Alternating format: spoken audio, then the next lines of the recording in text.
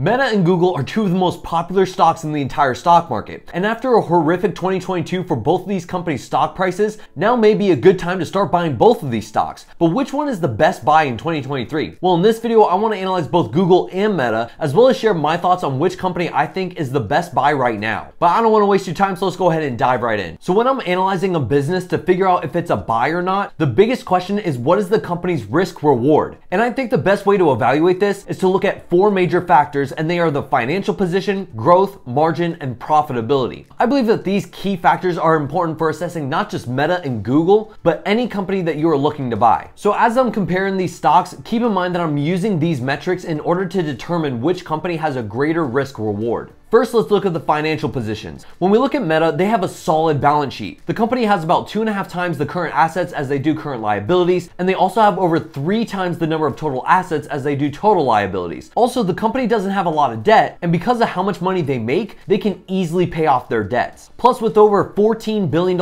in cash, Meta has more cash than they do long-term debt, so they could pay all of it off if they wanted to. Also, if you take their cash and the marketable securities, which can easily be converted into cash, they have almost two times the amount of their current liabilities. The company also has over $11 billion in accounts receivable as well, so their financial position is solid. When we look at Google, they also have a great balance sheet. They have about two and a half times the current assets as they do current liabilities and have a slightly better ratio than Meta with 3.3 times the total assets as they do total liabilities in comparison to 3.2. And like Meta, Google doesn't have a lot of debt and has a slightly better debt to EBITDA ratio, which stands for earnings before interest, taxes, depreciation, and amortization. Meta has a debt to EBITDA ratio of 0.24 while Google has a ratio of 0.16. The lower the ratio, the better because it means that the company is more capable to pay off their debts. And when you think about companies that have a lot of debt, even if they become profitable, most of the money that they earn goes towards paying off interest on their debt. Both of these companies don't have to deal with that pressure because they have low amounts of debt and have high amounts of earnings. With almost $22 billion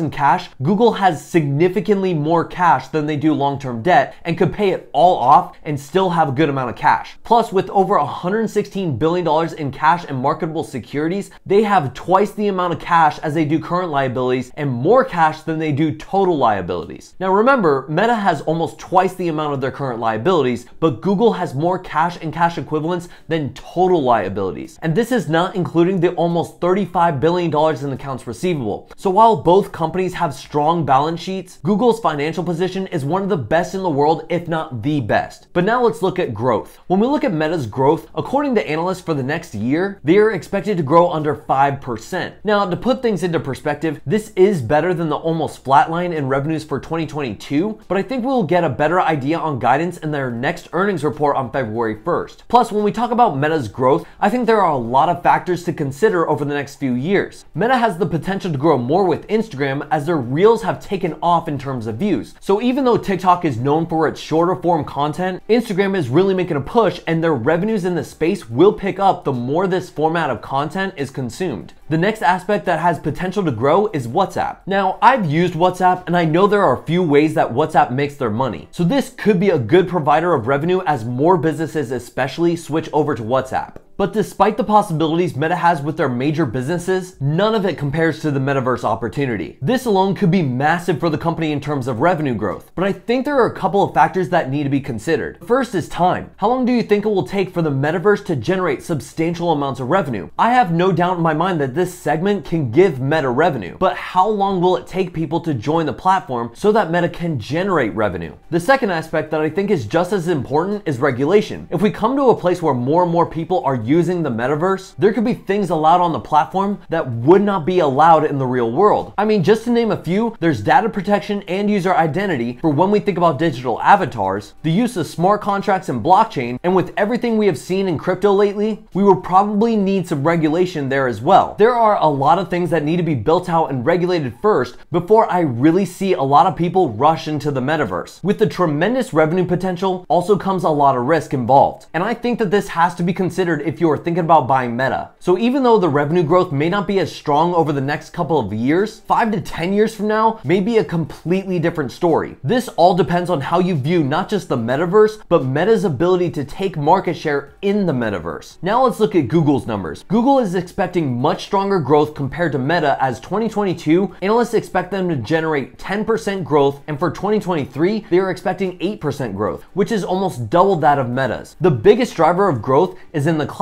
and in my previous Google video, I shared how they have continued to take market share despite AWS and Microsoft having larger revenue numbers. Plus, I really think that YouTube over the next five years will not only be even larger than it is right now in terms of consumers, but when you think about the platform that is focused on supporting and monetizing content creators, YouTube is the place to go. And to add to all this, they are the largest platform for social media that promotes all content from podcasts to medium term content and short form content, including YouTube Shorts and YouTube Stories. So there is no question in my mind that YouTube is not going anywhere. When I think about growth, there are benefits to both Google and Meta. Meta has the possibility for much higher growth, but Google's growth looks a little bit more stable. But hey, before we move on, I just want to say thank you so much for watching this video. And if you feel like this video is providing value to you, it would mean a lot if you hit that like button so that more people will be able to see this content as well. But back to the analysis, let's talk about margins. So in order to calculate gross margins, what you do is take the gross profit and divide it by the revenue. Then to get a percentage, you would multiply it by 100. Google has gross margins of 56%, so the business is efficient, and the company has continued to grow gross profits over the past couple of years. So what this tells me is that their revenue is outpacing the cost to make that revenue, and as they continue to grow revenues, their gross profits will grow as well. And if you know anything about Amazon's business AWS, this cloud segment generates massive margins. And so as Google Cloud continues to generate more and more revenues, they will have an effect on their margins, which I think is important to consider. Now let's look at Meta. Their gross margins are substantially higher than Google's at about 80%. So the business is extremely efficient. Now the company has lost some gross profits over the past couple of quarters, but we will see if this continues going into the new year. With all that said, there is no question that this company's margins are fantastic. But what will happen when they put more focus on the metaverse? They are planning to invest billions of dollars into building out the metaverse. So I do think this is something to consider over the next few years. But they did cut 11,000 jobs in November, so we will see how much of an effect that will have on the company moving forward. And lastly, let's talk about profitability. In a recessionary environment, this is extremely important for investors because if a company is profitable, there is less risk involved. There are a couple of metrics to look at when measuring profitability, and they are net income and free cash cash flow. Personally, when I'm simply looking at companies and trying to figure out future projections, I like using net income. But if I want a deeper analysis or I'm already invested in the company, free cash flow is more important. If you want to find free cash flow, what you do is take the operating cash flow, also known as the cash from operations, and subtract it from CapEx or the investments in property, plant, and equipment. So to compare free cash flow to other possible investments like a bond, the best calculation is the free cash flow yield, where you take the free cash flow and divide it by the market cap. Now, Meta has a free cash flow yield of almost 7%, which is fantastic. And off first glance, this this looks like a solid buy. But the next question that we need to ask is will this cash flow last?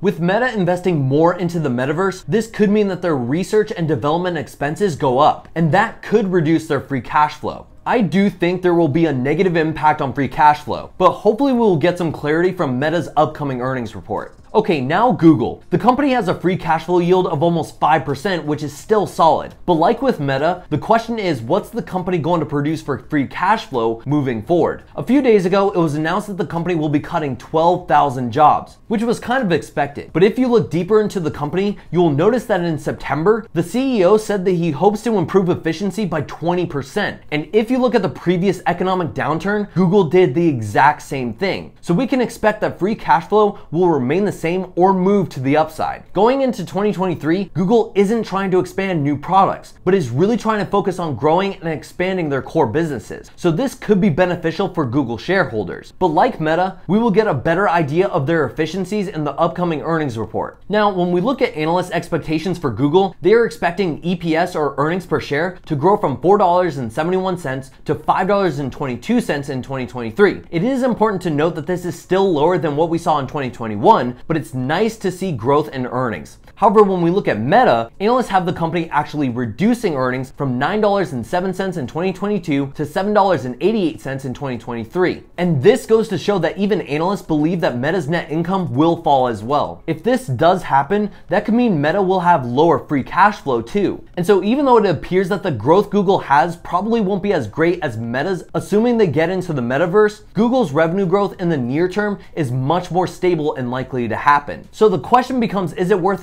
investing in Meta's risky but massive opportunity, or is Google's more stable, steady growth more appealing? I really believe this is up to you and what you want in your portfolio. If you're someone who has a lot of smaller, riskier companies, then it may make more sense to add something like a Google that can diversify your portfolio in the services they provide and the low risk that comes along with them. But on the other hand, if you're someone who already has a lot of dividend or value companies, then it may make sense to go with a potentially higher growth and more risky company like Meta. If you believe in Meta's execution on the metaverse and you don't mind the slowing down of net income over the next few years, plus you're planning to invest for the very long term, then Meta stock may not be a bad buy at current prices. The way I see this is that their platforms aren't going anywhere, and especially with Instagram and WhatsApp, they will probably become more and more applicable. Now, personally, I'm buying Google over Meta. If you've been watching my channel, I already have a good amount of risk in my portfolio, so I wanted a stock that will give me good amount of upside with a lower amount of risk. And when I consider all the different metrics that I mentioned in this video, I think Google is the best option for me. Now, if my portfolio was different and I had a lower amount of risk, then I probably wouldn't mind taking on more risk with something like Meta. But personally, right now, I like the risk reward better for Google than Meta. And speaking of risk reward, I just started buying a new semiconductor company, which if you haven't seen that video, I'll make it available right here. Hope you all enjoyed this video and I'll see you in the next one.